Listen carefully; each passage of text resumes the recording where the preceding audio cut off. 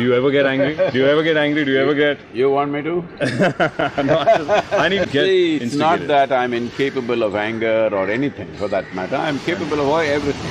Correct. It's just that I have not given others to determine what I shall be right now. I've kept those things to myself.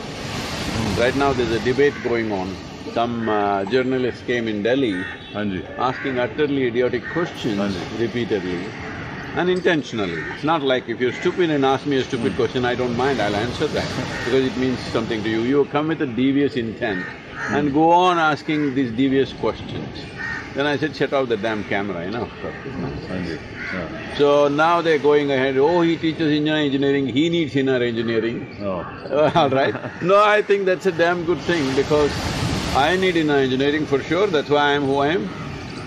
Now they… these people who are, have vile intentions, now they're advertising for inner engineering. Everybody, even Sadhguru needs inner engineering. This is a great ad. Well, that's a good thing, yeah, correct. For the same medicine that you're providing and you've invented and made.